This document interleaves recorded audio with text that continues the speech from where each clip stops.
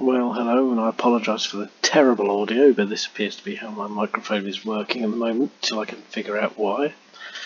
And this is a quick introduction to the P47 throttle quadrant project that I'm undertaking at the moment. I'll stop moving this around and actually do something sensible.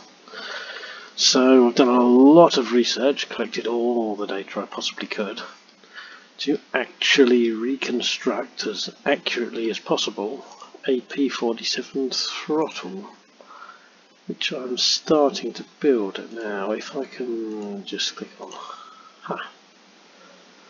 now there we go. Oh.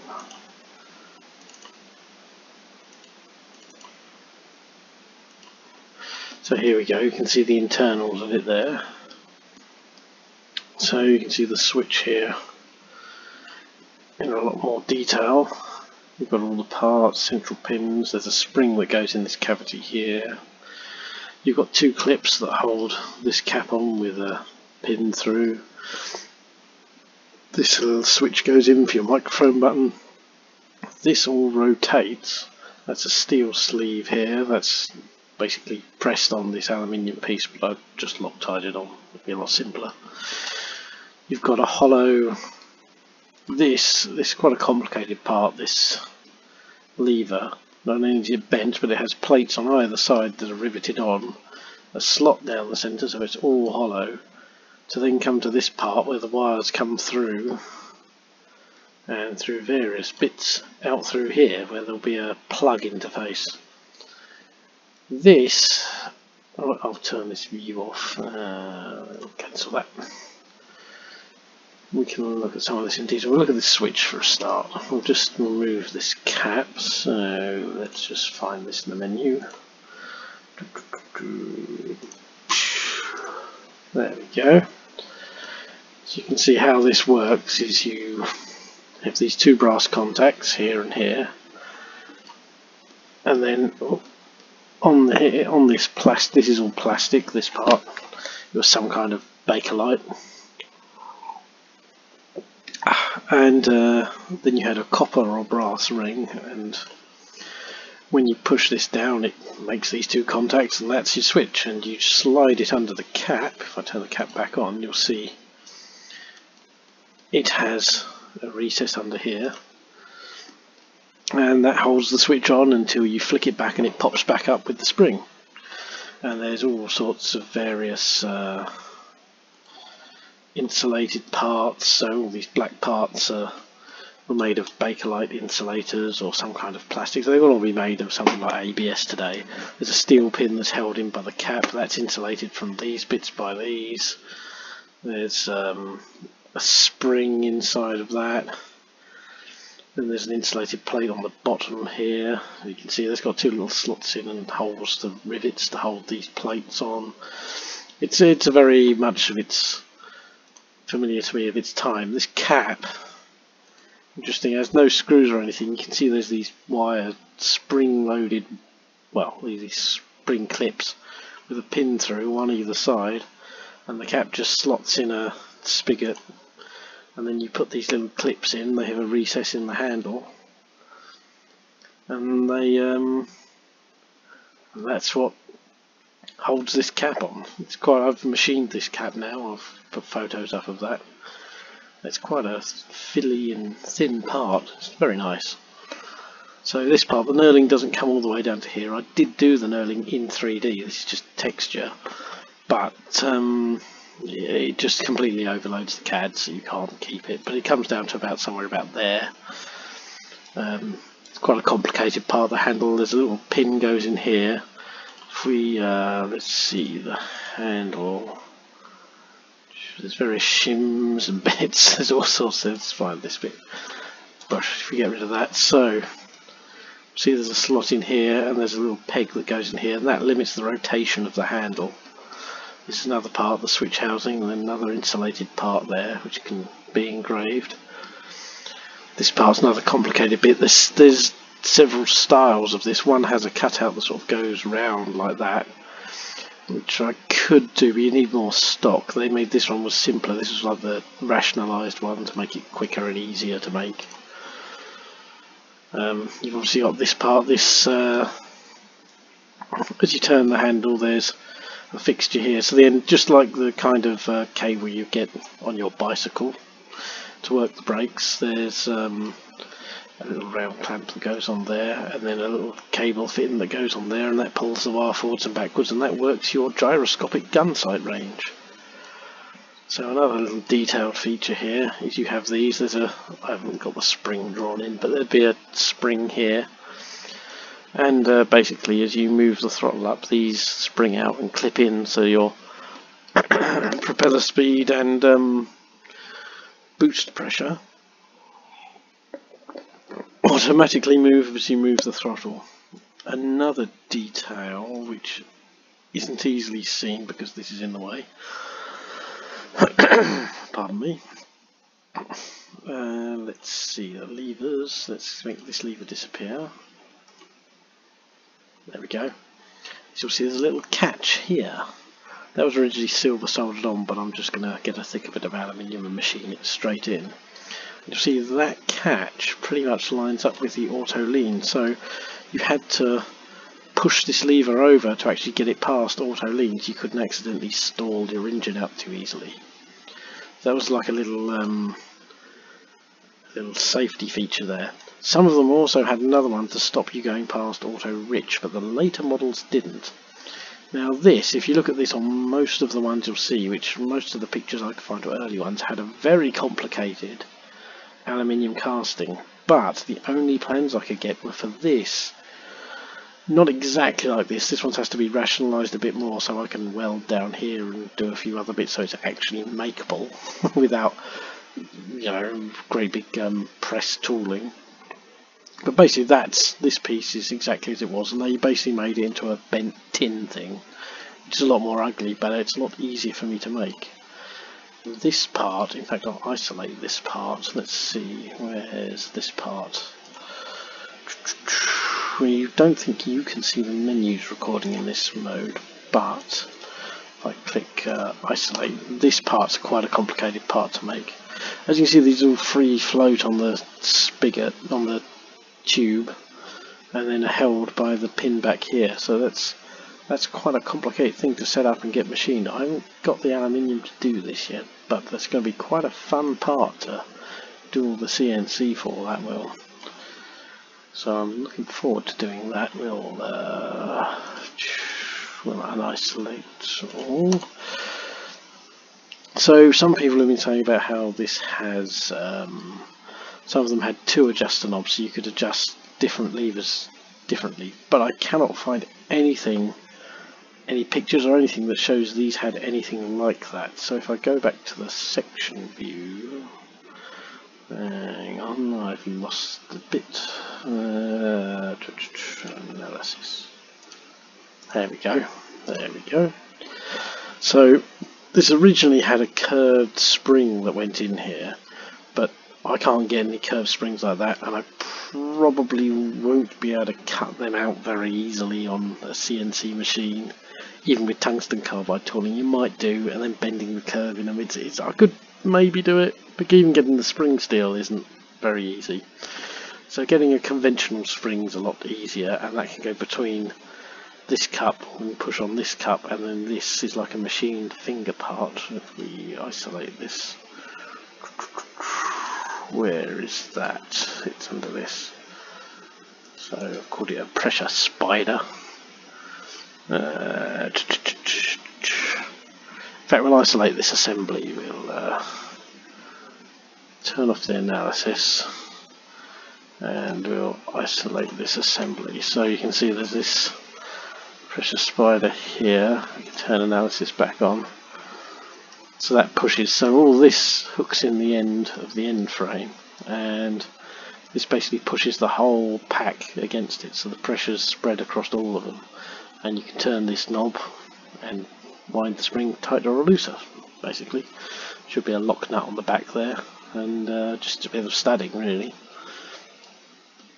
so it's a bit more complicated than as far as I can make out the original was but it's more makeable from what I've got because I can't get anything for the springs. So this is just a tube, you've got six bits cut in the end. Uh, this could just be 3D printed.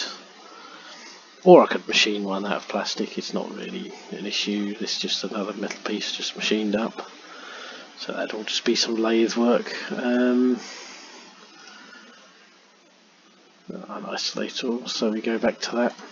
You'll notice that uh, now these these radius sections, I've been trying to make these, but I've had to get a long mill cone because I was trying to cut this one, but the mill flutes weren't long enough and it just clogged up and chewed and oh, it, it just, it just went horribly wrong. Anyway, so these parts, if we uh, let's find this, the radius section, we'll do this thick one because it's the nicest looking one. Uh, let's look. 18 millimeter so I've rationalized I love the sizes because I can get metric stuff so much easier. I've rationalized down to a metric size so for instance this was three quarters originally but you can do eight well it wasn't three quarters it was some weird English size not quite three quarters sort of like a 30 second less or something but it's about 18 millimeter. And these were originally obviously a these were brass and they were probably just extruded an extruded part and then cut to length and they just painted these on. They didn't engrave them which I'm going to do and then just fill them in with white paint afterwards. I haven't got any black paint. I've got white paint I haven't got any black spray matte spray paint at the moment. But we'll work on that. But these bits can then all be cut out of a bit of aluminium plate. They're originally brass. I was going to make more of brass but it's very expensive and I just can't get any at the moment with the whole lockdown coronavirus thing. So I've got aluminium laying around, so they might as well be aluminium. They're painted, so you'll never know any different. And uh, if we uh, let's isolate it all and find the other bits. So either side of those, between the levers, you'll see uh, I've made them in brass. Let's see, and it's just called where is it? Menu. I've lost it now. Here we are. So if I just look at that one. Uh, there's these, apart from the one with the little knob, these just all identical along it, and these are what the levers actually run against. So if the spaces between are made of aluminium, it doesn't make any difference how it, work how it works. Just need some one millimeter brass plate. Again, I chose made them one millimeter. Originally, um, oh, I can't remember the size, they were slightly, not far off it, they were only something like 5, 6 thou difference or something. So it's not like um, it's making a big difference that it's in material I can find. Uh, again, these were 8 but I've made them 3 mil. It's like 5 thou difference, and I can get 3 mil plate easily. Same for these. These were 8 plate originally. Uh, the knobs can all just be 3D printed. Um, the, one of the toughest parts of this is going to be mm, bending all these parts because I'm going to have to make some kind of radius jigs and bending jigs to actually get the place where the bends start and finish correct for any of these parts as well as the angles. And it's very important if you look at these levers, they, they've got to fit pretty tight in all this and they're going to have to line up pretty much so I may have to bend them and then adjust some of these spaces to so they fit just right. This whole thing in itself, the throttle lever, we'll isolate that. This, you'll see it's quite a... I've put actual rivets in it. Didn't realise I got that. Obsessive. but, um, many things open here shut down. So the central section, so we'll just remove this plate. You can see you've got, I'm going to put aluminium rivets in, but the throttle lever itself, it's actually two parts so the wires can come down here, it's got a big bit here so the wires can move around. If I make that plate come back, you'll see there's a slot and there's a little insulated tube that sits between that slot and the aluminium piece here where the wires come out to the plug because nowhere could I find where the wires came out and they don't appear to come out, they appear to all travel internally so there must be something like this. I did manage to find a picture of a smashed up one of these and I found that it didn't just come round to a straight up, it had this big wide kind of taper so I'm assuming there must be some kind of gap in there for that. Anyway, I've put lots of rivets in. I don't know how many the original had, but had this kind of staggered pattern at the top, so I sort of copied that and stuck them in wherever I thought I should have them. They're, they're just going to be aluminium rivets, as they're dead uh, soft, you can just easily rivet them. And then this bit, this is 4 mil plate. This bit then has to be machined down to be thinner at the end, which will be fun. Shouldn't be too much of a problem though, um, but it's quite complicated because then all these holes have to line up with the bends and everything else. So uh, luckily the CAD works all that out. So as long as you get your bends correct, all your holes should line up. that should be fun. Um, let's see. this part I've rationalised. The original one has a crazy angle on it, but that would be totally useless for a desktop one for me. I did try and make the original mount. I hadn't quite got it right. So this is my first attempt at doing the original mount. As you can see it's got a sort of really weird angle on it so it'd fit on the body.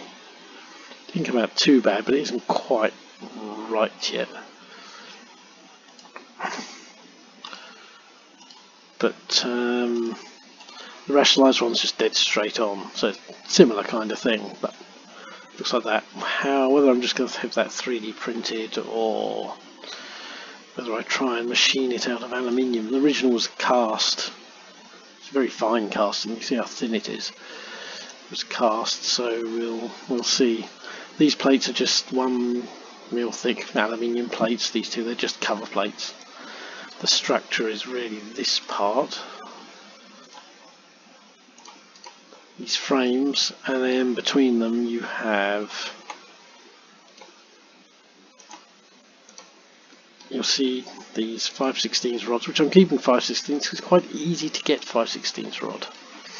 Again between each of these parts between these spacers you have these brass discs which I've called anti-rotation discs um,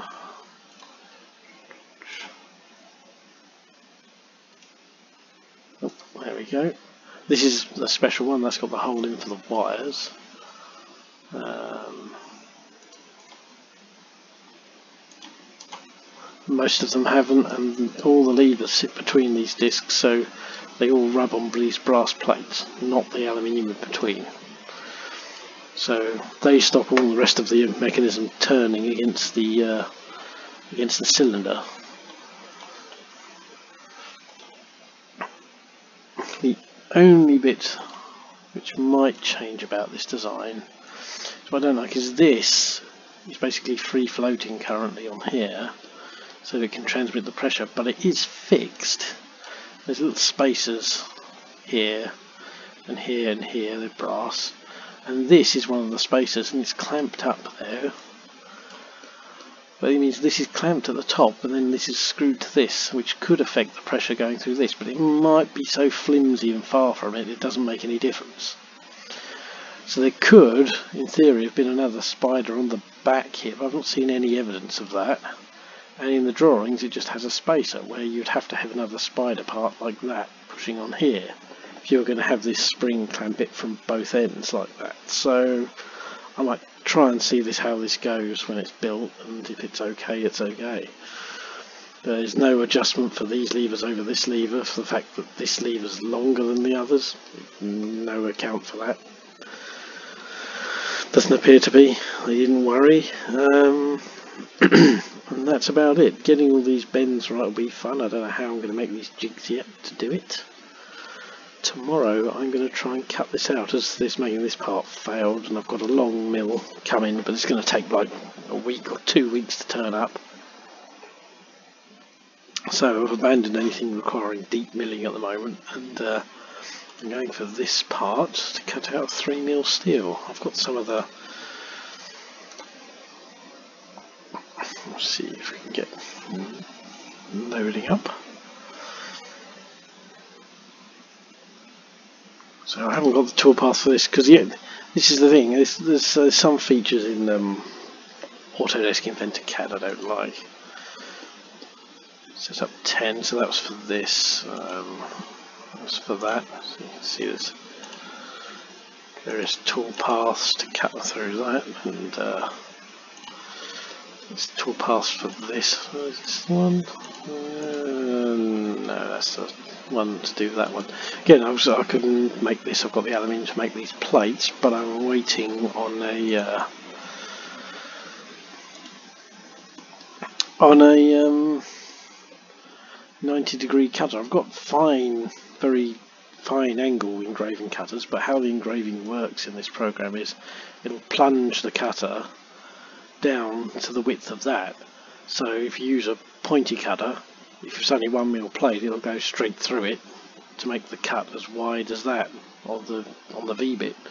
So you need like a quite a like a 90 degree one that's quite a blake, so it doesn't go too deep and come through the plate but um, I'm waiting on those cutters at the moment. I've got some 90 degree ones but they're awful and they're all as wobbly as anything so I'm waiting for some better ones. Uh, some of the tool paths for this. So this, various bits, this is one set, this was just to do the, that's the inside, that's the outside tool path but I think I actually, there was the outside tool path, so that was abandoned because for some reason it wouldn't accept that, it wouldn't generate it, there's a few errors. Hmm. So we went with the second outside toolpath. Oh, this was for the jig actually. That was the jig's toolpath, and then I believe we went. So then we did another outside toolpath, which machined all this off. And again, I didn't use a rounded mill. I just used the square mill and did very, very fine cuts, which took a long time, but it's a hobby, not not in production. If I'd used a rounded mill you might have got a slightly better finish but a few minutes with some wet and dry on a lathe spinning it it's a bit and it looks quite nice and I don't want it to be perfect.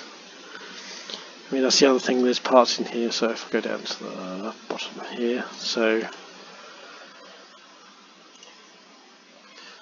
there's the jig so this was just um, this part of the jig was let me get this no, but oh, I've turned the body off. That's um, where is it? Ah, on the origins. There we go. So it's just a simple jig. The switch cap goes on. This locates it in the same way. So you put it in the CAD, does it. And this bit basically got its machined the way you do it because I couldn't stop it machining all the way down. I couldn't find a way of doing it. I'm sure there is a way, but I. Uh, hadn't figured it out. So, oh, this what, what sketch is this? Components. Oh yes, I'm working on a sketch for a bending jig for those little brass brackets, brackets even. Oh, no, there's an AutoCAD Inventor pauses a lot when you get to a complicated part. Ah, yes, thank you, Autodesk Inventor. There we go. So, I think that's covered most of it. This part, curiously, this has little shims that went in here. So these slots were made a lot wider than the actual bit, and then had little shims here. I don't know why.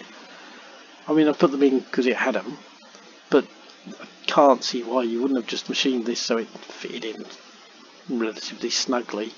Unless they just were knocking them out so fast that they didn't machine this that accurately and so they had shims and you would shim it if it needed it or I, really don't know. It just seems to make the make gripping it weaker.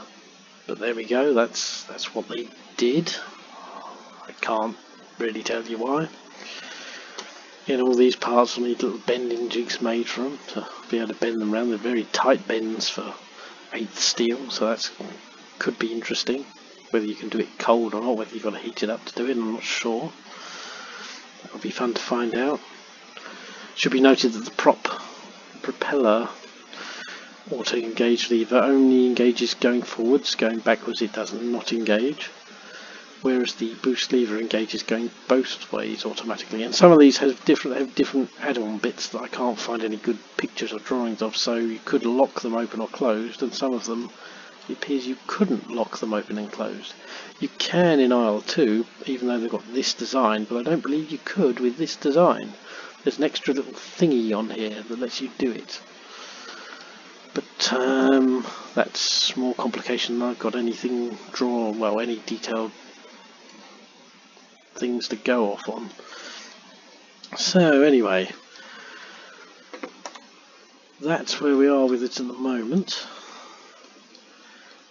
Started production, we've got the cap made, we'll get this lever made, hopefully get this radius arm made when the bits come. If my cutter comes I can get these parts made, they won't take long at all.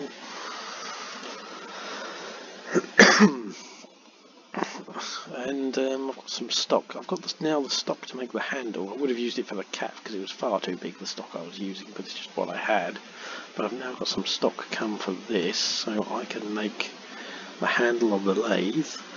Oh, actually I can't because I need the knurling tool to come. So I've got a way to do that. Then it can be set up in the CNC and just have this little cutout put in where this other aluminium piece slots in. Again, you should be seeing there's a lock screw for that that locks that in place. That's how that's done. And uh, we go from there. I've got some old iron lying around I can make a steel sleeve out of. And uh, yeah, so anyway, this is the P47 throttle project